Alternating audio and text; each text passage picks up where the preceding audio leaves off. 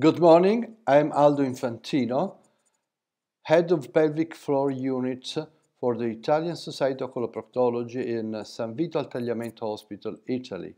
This presentation is part of the monthly topic ESCP on rectal prolapse.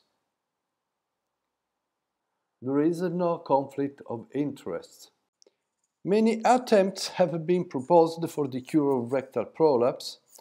Ripstein fixed the rectum to the sacrum after complete mobilization and using a Teflon mesh. Unfortunately, the results for constipation were worse than after resection rectopexy. New onset constipation was remarkable and in internal intussusception the constipation often worsened. Waltz introduced the modification the net fixed the rectum in the posterior and the lateral walls only. The constipation improved in 36%, but 18% of the patients complained for a new constipation. In uh, 1993, it was introduced the modification. In case of a hysterectomy, one wing of the net fixed the vaginal vault for the correction of enterocele with uh, the aim to improve constipation, Frykman and Goldberg proposed a sigmoidectomy that mitigated this dysfunction. In fact, obstructed defecation and fecal incontinence improved in 81% and 72% respectively, but the risk of anastomotic dehiscence for many surgeons was unacceptable.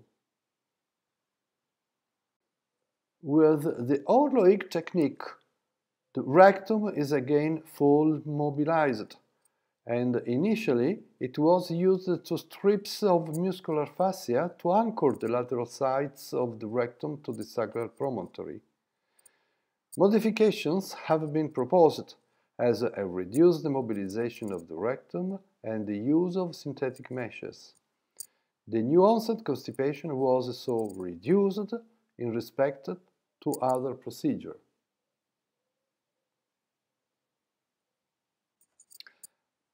Up to that time, the results after Orr-Loygue technique were the best and after Ripstein procedure the worst. And the Orr-Loygue technique resulted better than the Wells tool. It is well demonstrated that in case of rectal prolapse and rectal intussusception, the uh, rate of urogenital prolapse is really high.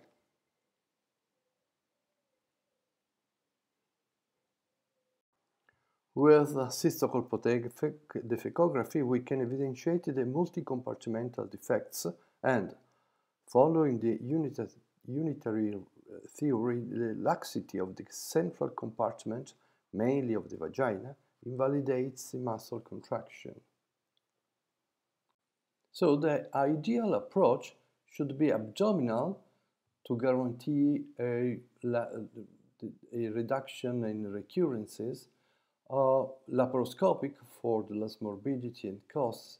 It should be preserved the lateral ligaments to avoid any denervation and uh, uh, the contemporary correction of associated middle compartment defect can be done.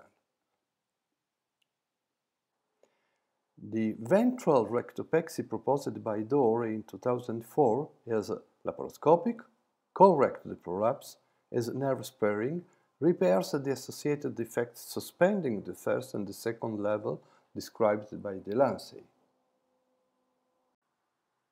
Collinson obtained good results not only in case of overt rectal prolapse as described by D'Hoore, but in rectal intussusception too.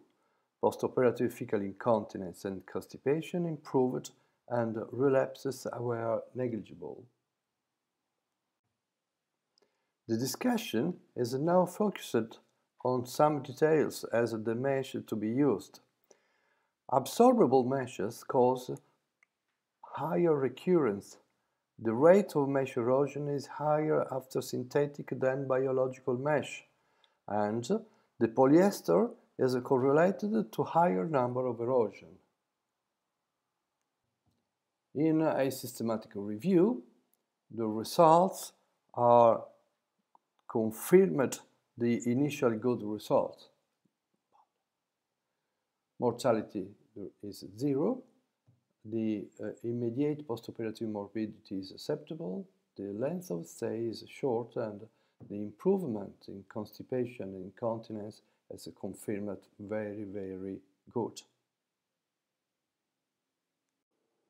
And the large experience on uh, laparoscopic ventral rectopexy after a follow-up of 10 years demonstrated only 8.2% of relapse for the overt rectal prolapse and confirmed the impressive positive results on obstructification and fecal incontinence.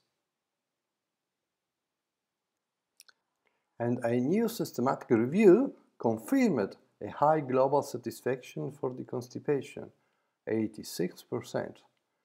Nevertheless, the author point out that the studies are only observational and this is a bias that can affect the results.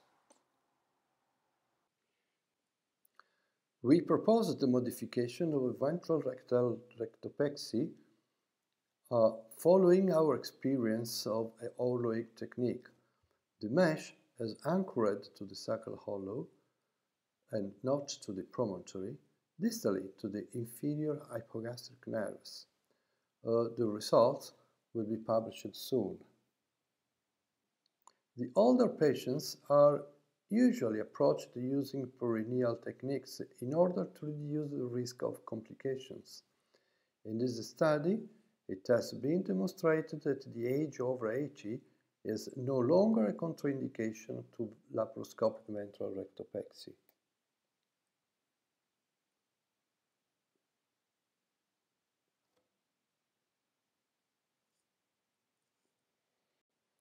The Cochrane analysis on uh, surgery for overt rectal prolapse revealed a low level of evidence for the absence of published prospective trials. Nevertheless, it is recommended a reduced mobilization of the rectum and the laparoscopic approach.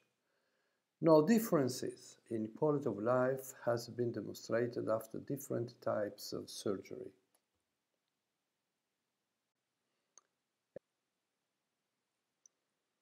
A survey published in 2012 demonstrated a more diffuse resective rectopexy in the United States than in Europe.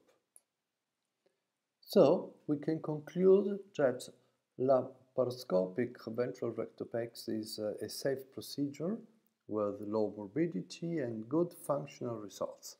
We need longer follow-up and comparative data to obtain a higher evidence. Thank you for your attention.